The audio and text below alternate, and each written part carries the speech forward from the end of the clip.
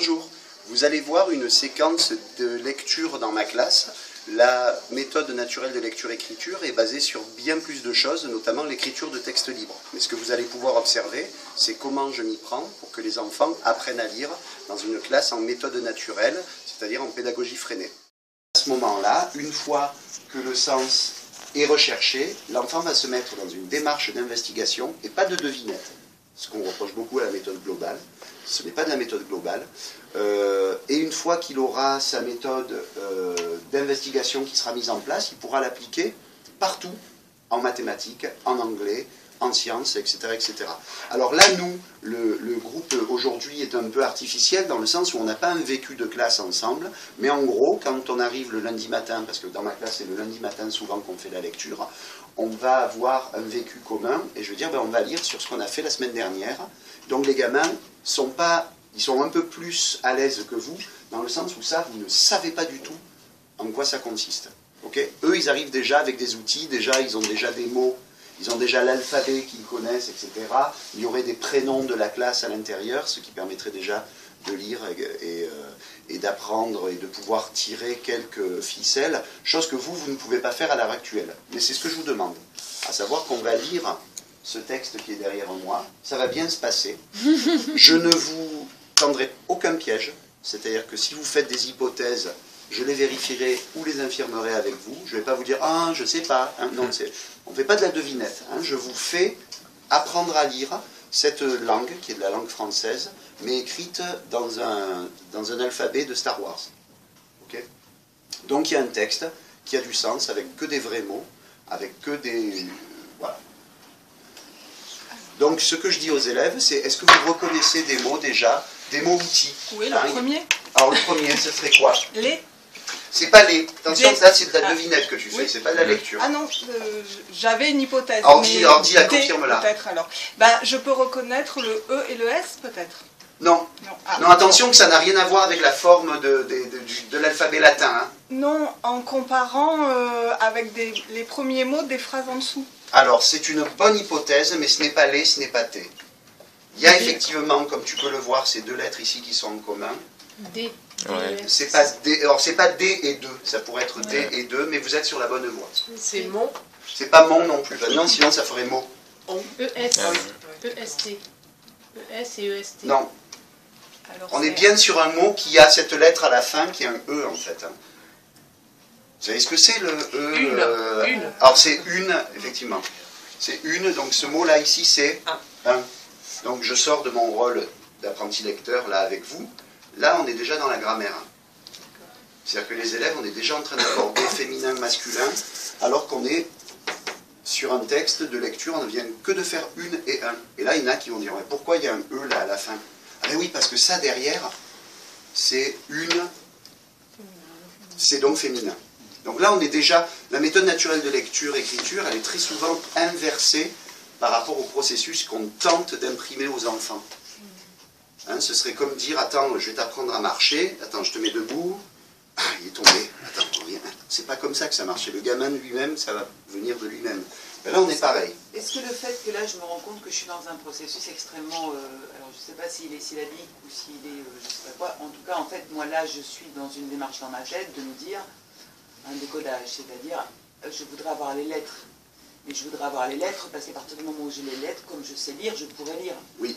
Euh, est-ce que quand on ne sait pas lire, euh, il y a différents process Est-ce qu'il y en a qui sont vers ce truc-là, justement, de à partir du moment où je vais avoir les lettres, je vais y arriver euh, J'ai du mal à, à, me mettre dans leur peau, puisque moi, forcément, c'est possible, puisque je sais lire.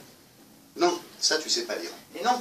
Tu, peux, tu, pourrais t'aider. Oui. J'aurais envie de le faire. Mais certains le font. Comme quelque chose quand je sais lire. Oui, oui. oui C'est-à-dire que je ne suis pas du tout dans un truc ni. Euh, ça pourrait être une langue dans un autre alphabet, c'est-à-dire je vais essayer de reconnaître des lettres que je connais mmh. euh, pour pouvoir. Mais c'est ce que tu vas faire. Oui, oui, c'est ce que, tu vas faire. D'ailleurs, c'est ce que ce que vous avez fait là tout à l'heure en, en, vous aidant des lettres sans savoir quels, quels étaient les mots.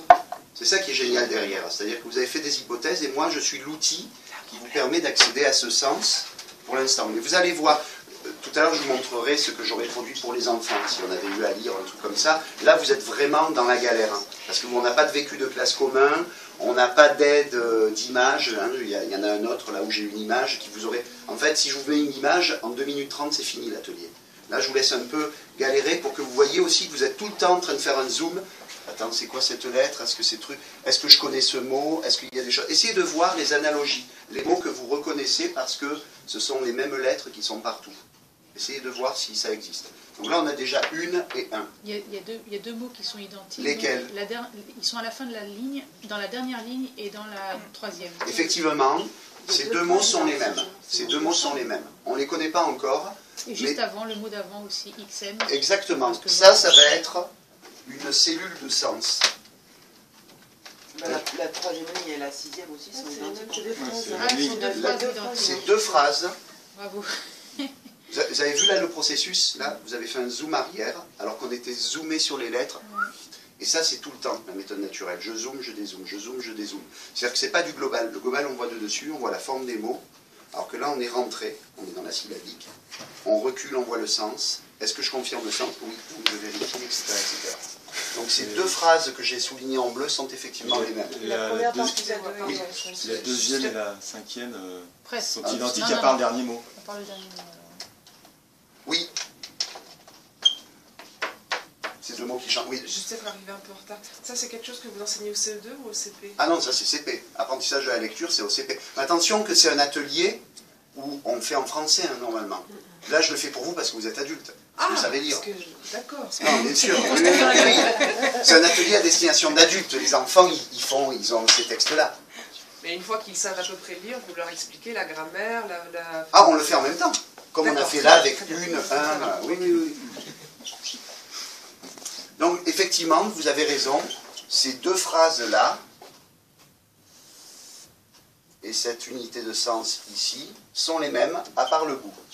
Oh, vous êtes pas mal là. hein. Sauf qu'on ne sait toujours pas ce que ça veut dire. Alors, il y a un début de mot qui. Ah, voilà. Ah, Bon, on pourrait dire que c'est de la poésie, une sorte d'anaphore. c'est une chanson. Voilà. Avec une répétition de Oui, phrases. oui. Donc on a une, on a un,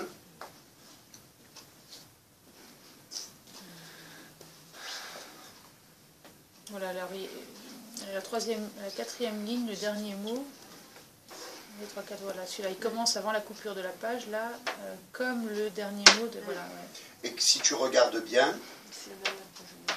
On n'a pas la même défi- Non, parce déclinaison. que- ça veut dire que celui-ci, il est féminin et que celui-ci, il est masculin. Hein, donc la fame- fameuse grammaire, là, on est déjà rentré dedans. On a aussi une sorte de, je sais pas, de préposition de, de, de, de- de déterminant, la XN. Celui-là, là, Non, oui. juste plus bas. Là, celui-là, voilà, oui, qui revient aussi. Oui. Enfin, bon. ce mot, c'est effectivement le même que celui-ci, là. C'est la même phrase, Ce oui, quoi le euh, Non, pas le du coup. Alors le, Non. ça s'écrit comme ça.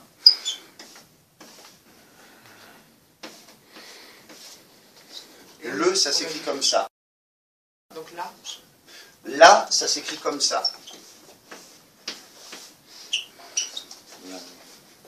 C'est Donc c'est là. Là. Vous avez vu, on a fait du syllabique. Ah, et on a une, le H et apostrophe à la fin, c'est donc le féminin, puisqu'on a aussi tout en haut un mot qui, se finit, qui est féminin. À la première ligne aussi, on a un mot féminin qui se finit par l'apostrophe, oui. C'est la même déclinaison. Là. hum. Là. Il y a ce mot outil là qui Ouais, pourra qui vous moi je bloque sur celui-là. C'est quoi la dernière lettre? C'est eux. C'est un A. C'est, un, Non, C'est un E, c'est un E, c'est un pardon. E parce que le A il est ici. donc c'est deux, On le retrouve dans une. C'est pas deux. le, te, non, le Ce. c'est Et non, le, c'est pas ce, non. deux, le, C'est je. je. Je, voilà comment ça s'écrit. Ouais, bravo. Ça. Je m'appelle. Je. C'est pas, attention, on n'est pas dans la devinette, on est dans la lecture. C'est je, elle, apostrophe. Je, alors, une, Alors il y a un verbe après sans doute. je, la. C'est la. Et ouais. Ouais. Alors, attendez. attendez. Souris, voilà comment ça s'écrit.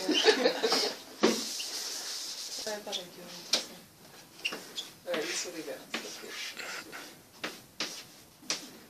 ok. Ah, c'est bon, on l'a trouvé. C'est bon Mm.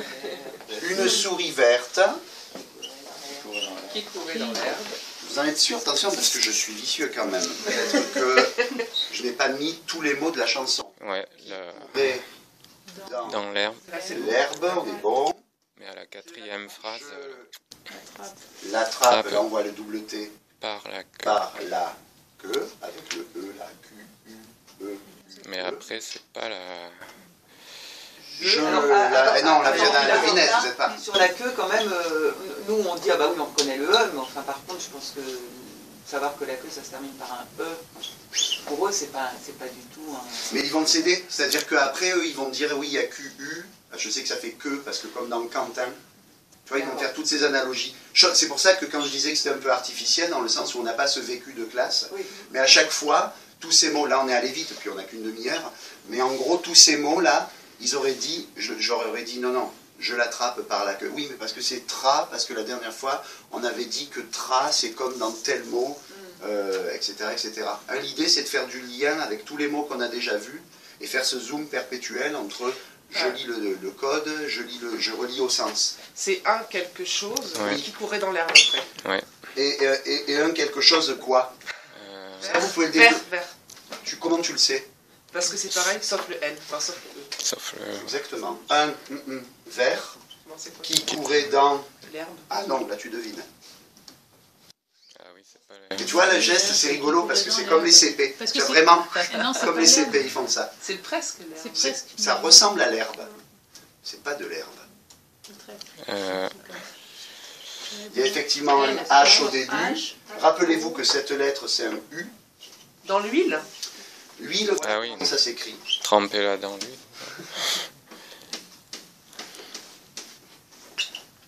Là, du coup, on devine un peu parce qu'on a cette chanson ça. Tu fais des hypothèses. Ouais. Tu devines pas, en fait. Tu Oui. fais des hypothèses. Mais par rapport à la chanson qu'on connaît Oui, complètement. C'est-à-dire tu fais un rapport avec le vécu déjà que tu as. Je fais exprès de prendre une chanson comme ça, au moins ça permettait. Mais les enfants, de suite, vont arriver. Je vous montrerai tout à l'heure des vraies lectures qu'on va faire là lundi, le sens va être... Bon là, ils sont tous quasiment lecteurs, hein, cette font période pareil de avec l'année. les mots qu'ils C'est- c'est, euh, euh, Un c'est- escargot vert. C'est pas. Non, non, Escargot, voilà comment ça s'écrit. non, c'est huile, au-dessus. c'est- Oui, mais la phrase. euh, Juste avant. ouais. Et puis dans la chanson, il y a l'escargot, tremper-la dans l'huile, ça fera un escargot. Escargot, voilà comment ça Ouais, s'écrit. Donc c'est Donc c'est un un escargot escargot vert qui, qui courait dans dans l'huile, l'huile, Je. Trappe la la queue. Vous avez lu un texte.